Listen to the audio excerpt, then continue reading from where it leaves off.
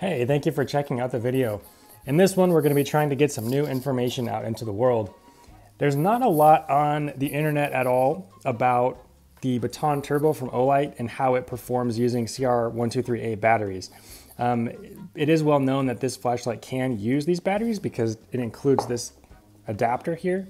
Um, this is Olight's little adapter. So you can use a CR123A battery. These CR123A batteries, by the way, are provided to us by PowerOwl, so special thank you to them um, for enabling us to do this test. But yeah, I was flipping through the manual and trying to find information online about like run times and lumen output performance info, about the Baton Turbo with a CR123A battery, and nothing is really out there. My own review on the Baton Turbo didn't use any CR123A batteries, so we're gonna get some beam shots in this video, also do a runtime test um, using one of these batteries. And I found something super interesting. I've already done the tests and I've already seen the beam. Um, definitely something surprising to me. Hopefully it'll be useful information to you as well.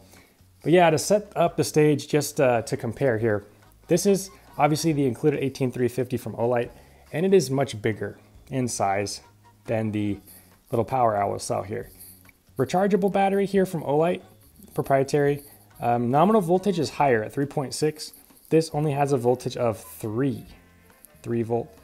Um, a 1500 milliamp hour capacity claimed on the PowerOwl and then 1100 milliamp hour capacity claimed on Olight's battery. So even though this is smaller, it claims to have more capacity. So we're gonna kind of put that to the test as well in this video. So yeah, that does involve some almost science, as I like to call it, when we do a runtime test. But first I wanted to show you kind of a first little thing to be aware of when using a CR123A battery in the Baton Turbo. So you gotta be using this little sleeve that is included with the Baton Turbo, and they have marked it here negative and positive. So just make sure you line that up when you place your battery in. And then the next thing about the Baton Turbo, most people who are familiar with this light already know. This uh, head portion connects with the negative end. So you're gonna wanna make sure you line that up properly. Positive side points down into the light and then negative toward the head. So yeah, once you do this, you're gonna see the status illuminators light up here, just like that. But after that, um, normally with the included battery, you see your your battery status on here, over here on the right with these LEDs, and then over here on the left, your output setting. With a CR123 battery, you do not get those. So those don't illuminate at all. So that's the first little difference just to be aware of. Didn't know that really. Second thing to be aware of, you do get four of the five modes with a CR123A battery. You do get moonlight. So if you want that, that still works. Can barely tell, but it is on. You get low, medium, high, but let's try to get to turbo. No turbo. And that's probably because the max voltage on these is 3 as opposed to 3.6. That's my guess anyway. But yeah, that's just something to be aware of as well. But let's check out the beam shots, and then we will conduct the runtime test. You're gonna have to let me know if you see the same thing, but during these beam shots, I noticed that the output settings seem to correspond to those of the Baton Turbo using its included 18350 battery.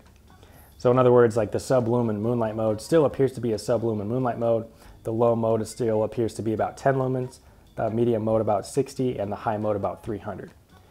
So yeah, those correspond pretty well, so that's nice if you're used to it and if you like those stepped output settings of the Baton Turbo, you pretty much get the same ones, moonlight up through high. So that's interesting and um, neat. You do not get turbo as we've been over before, so that's gonna bum some people out. Although usually turbo, um, you know, it can be practical and stuff like that, but usually you're not using turbo when you use a flashlight, so not a big deal to me anyway. Now that we've seen the beam shots, it's time for the time-lapse test. What we're gonna be doing is testing the high mode using a CR123A battery here is the runtime information of the high mode for its included battery. The Baton Turbo's included battery can run at 300 lumens, um, full brightness for about 103 minutes before gradually stepping down to 20% brightness for an additional 18 minutes. So roughly two hours total of runtime here. We're gonna see if the Baton Turbo using PowerOwl CR123A battery can match that, um, maintain that brightness, and see how much runtime we get from this little cell. This thing does claim more milliamp hour capacity, so we're gonna have to put that to the test. let's check it out. Um, how I do time lapses on this channel, very unsophisticated, low production value on this channel. I'm just gonna set this clock to noon, start the time lapse so we can watch the clock tick, see what the flashlight does, how it performs. Let's get into it. Doing time lapses on this channel has taught me that whatever it is that I expect is probably not gonna be what I find. And this one's no exception. So once again, with the included 18350 battery from Olight on high mode, expect to get about two hours total runtime. At least that's what's in their manual. But we're already at hour, you know, coming up on hour six here, still going, and the output seems pretty good.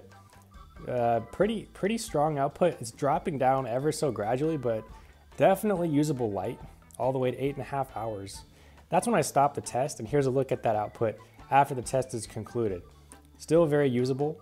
You do not really seem to get any other modes other than low. So pretty interesting. There might be like a slight little change in output when you try to cycle modes, but for the most part, you're pretty much getting low, but that's after eight and a half hours. So I was pretty surprised and pretty happy with that output. It seems like the milliamp hour capacity from PowerOwl seems to be accurate. And if you are in the market for good CR123A batteries, a link to this 8 pack from PowerOwl will be in the description below.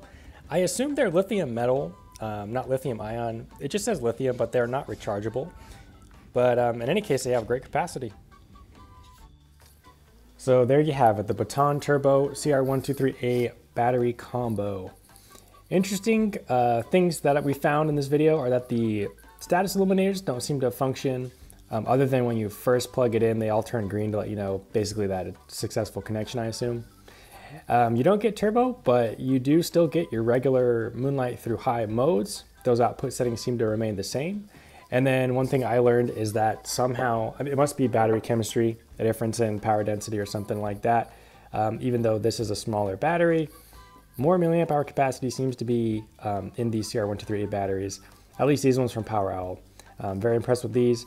Um, and then this one's obviously rechargeable, so that's a benefit um, that's included with the Olight Baton Turbo. So um, cool to have the options. I'm a big fan of options, as I always say. More options for the consumer, the better. But I'm glad this little light can take its included rechargeable battery or some of these CR123As. Hope this video helped you in some way. Hope you learned something new like I did. Um, if you found value from the video, please leave a like on it. helps me out. Otherwise, have a great day. Hope to catch you in the next video. Take care. God bless you. See you in the next one. Bye.